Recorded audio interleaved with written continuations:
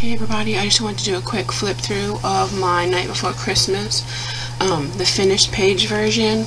I didn't get every single solitary background and everything done, but I got the most of it done um, by today, which is Christmas Day. Merry Christmas everybody. um, just want to show y'all um, what I did and just a quick flip through.